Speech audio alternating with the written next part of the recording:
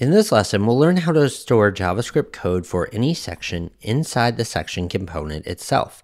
Typically, if we have GSAP, Swiper, or any other section code, it would all go in page settings, which can make it hard to find and edit the relevant code later on.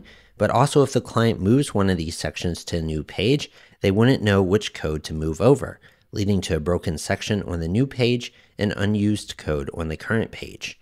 But some problems we can run into when adding JS inside a section is it's hard to make sure that JavaScript only runs after jQuery, GSAP, and all those libraries are imported right before the closing body tag. And also, if client accidentally duplicates one of these sections, then we have two copies of the same JavaScript, which can cause errors. So the script we'll look at addresses both of those issues. I'll leave a link to this code in the description below. Let's copy this first block of code, and this will go in our site settings head code. And this will collect any page functions used throughout our different sections. And if there's two copies of the same section, it ensures that the same function doesn't run twice to prevent any errors. Typically, if there are errors in a function, all the functions below it won't run. But this script prevents that from happening and it also tells us exactly which function the error is coming from. Now, once all those functions are collected throughout the page, this is the part that actually runs them. So we can copy the second block of code. This will need to go in the footer code below any other scripts like Swiper or GSAP so that we're making sure those scripts are imported before we try to use them.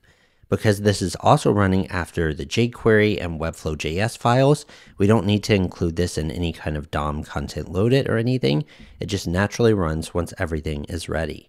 Now, the last piece of the puzzle is the part that actually goes inside the section.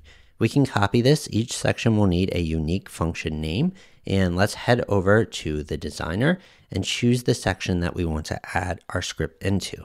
So what I would recommend doing is including this third script inside a component that you can use as a starting point. So mine is called starter.js and anytime I need JavaScript, I can drop that component in, unlink it, and it's an embed with my script in here and good to go. Now for naming this function, we can't use spaces or dashes. The first word should be lowercase. So I can call this something like hero section. And then I can add any script I want inside of this, whether it's jQuery, Swiper, or even GSAP. And if we have multiple copies of this section on the page, it'll ensure the same script doesn't run twice. And also the script won't run until everything is ready. So that's how to use the page functions with Webflow.